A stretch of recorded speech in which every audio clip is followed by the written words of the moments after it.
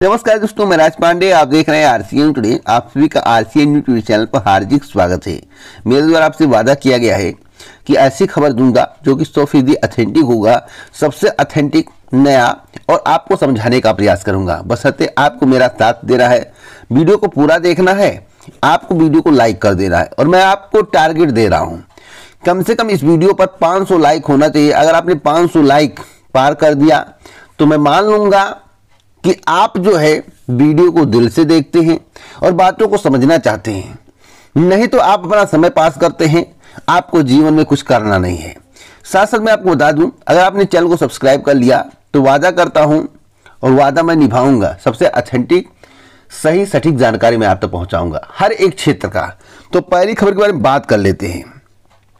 दोस्तों, आपको मालूम होगा कि पाँच राज्यों में चुनाव हुआ और तीन राज्यों में बीजेपी की बंपर जीत हुई। लेकिन एक खबर सामने आया है, इसे देखकर आप चौंक जाएँगे। ऐसे प्रत्याशियों का नाम आ रहा है, ऐसे प्रत्याशी हैं जिनका कहना है उन्हें खुद का वोट नहीं मिला। ऐसा हो ही नहीं सकता कि व्यक्ति को खुद का वोट ना मिले। अगर यह बात सही है तो सौ फ़ीसदी व्यक्ति कह सकता है कि ईवीएम में तो कुछ सेटिंग ज़रूर है। तो आपकी क्या राय है? खुद का वोट ना मिलना किस बात का संकेत है। एक खबर हरियाणा की है और हरियाणा के संबंध में जो ग्राफ बताया गया है, उस ग्राफ को आप देख सकते हैं। हरियाणा में जो है, कुल साठ फ़ीसदी आबादी गरीबी रेखा से नीचे है। बयालीस लाख को नहीं मिल रहा राशन। केंद्र सरकार इस पर कुछ कर नहीं पा रही वर्तमान में। केंद्र सरकार के रिकॉर्ड में, हरियाणा में एक दशमलव छब्बीस करोड़ लोग ही गरीब, उसी से राशन का आवंटन। राज्य सरकार ने आय सीमा एक दशमलव बीस लाख से बढ़ाकर एक दशमलव अस्सी लाख की तो संख्या एक दशमलव अड़सठ लाख हो गई है। तो बयालीस लाख छूट रहे हैं। अगली अपडेट के बारे में बात करते हैं। जैसा कि आपको मालूम होगा कि ईवीएम पर आरोप लगते रहे हैं। और ईवीएम पर जो आरोप लग रहे हैं, उस पर भाजपा के द्वारा कुछ कहा नहीं जा रहा है। देखिए, केंद्र में भाजपा की सरकार है। एक व्यक्ति बोले ईवीएम चोर है, दो व्यक्ति बोले ईवीएम चोर है, तीन व्यक्ति बोले ईवीएम चोर है यानी कि ईवीएम वोटों की चोरी करता है। तो फिर बात समझ में आता है भाई तीन लोग बोल रहे हैं कि ईवीएम चोर है ईवीएम से वोटों की चोरी होती है। तो मोदी जी को इस पर कुछ एक्शन लेने की आवश्यकता नहीं, क्योंकि तीन ही लोग बोल रहे हैं। बाकी राष्ट्रीय दल की पार्टियाँ जो है ईवीएम के पक्ष में है कि ईवीएम सही ईवीएम से वोट होना चाहिए। लेकिन अगर भाजपा को छोड़ के सभी राष्ट्रीय दल बैलेट पेपर से चुनाव के पक्ष में हो और केवल भाजपा ना चाहती हो कि बैलेट पेपर से चुनाव हो तो आप इसे क्या कहेंगे? दोस्तों, मैं ऐसे बात नहीं कर रहा हूँ। अमर उजाला में यह खबर निकला हुआ है। भाजपा को छोड़ सभी राष्ट्रीय दल बैलेट पेपर से चुनाव के पक्ष में है, लेकिन भाजपा बैलेट पेपर से चुनाव कराना नहीं चाहती है। अगर वास्तव में जनता आपके पक्ष में है, जनता भाजपा के पक्ष में है और जनता जो है वोट देकर भाजपा को जिता रही है तो एक बार सभी पार्टियों को बुलाकर स्टाम्प पर लिखवा लेना चाहिए। और लोकसभा का चुनाव, एक बार वनली एक बार, आगे से ईवीएम पे हो। अगर भाजपा जीत जाती है तो आगे से ईवीएम पे चुनाव हो दो से। लेकिन 24 में सभी को संतुष्ट करने के लिए, क्योंकि केंद्र में आपकी सरकार जिसकी सत्ता होती है, उसे सभी को संतुष्ट करना पड़ता है। तो एक बार बैलेट पेपर से चुनाव हो जाए। एक बार जब बैलेट पेपर से चुनाव हो जाए, जो आरोप लगते हैं, वह आरोप भी समाप्त हो जाएगा और ताउम्र ईवीएम चलेगा। तो आखिरकार भाजपा ईवीएम से चुनाव क्यों नहीं करा भाजपा आखिरकार बैलेट पेपर पर चुनाव क्यों नहीं कराना चाहती है?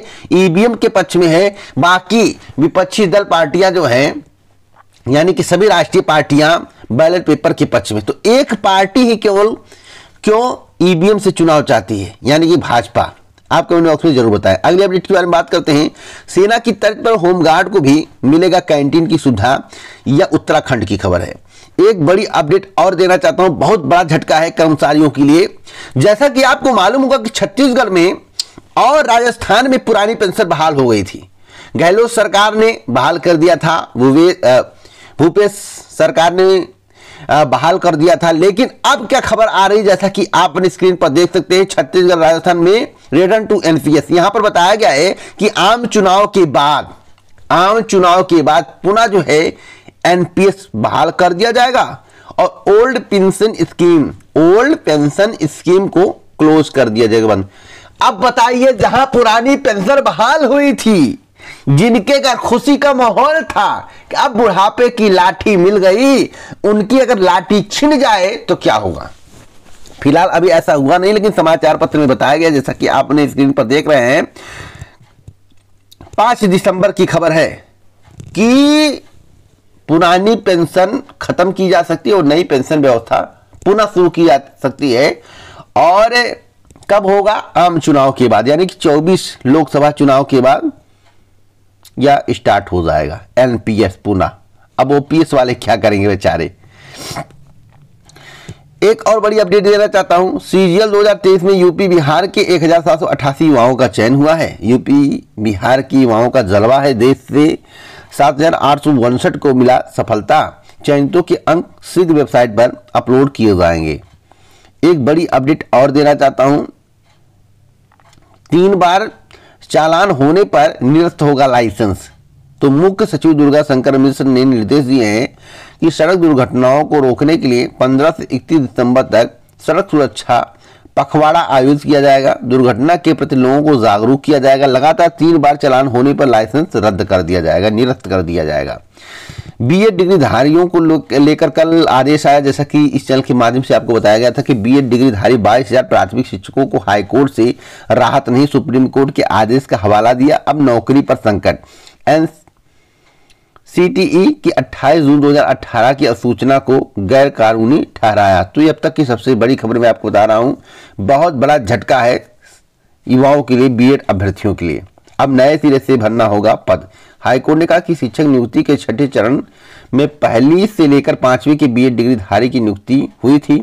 उससे अब नए सिरे से भरना होगा। राज्य सरकार को NCTE की ओर से 2010 में जारी मूल अधिसूचना के अनुसार योग्य उम्मीदवारों से ही नियुक्ति करनी होगी। तो ये अब तक की सबसे बड़ी खबर है, ब्रेकिंग न्यूज़ है।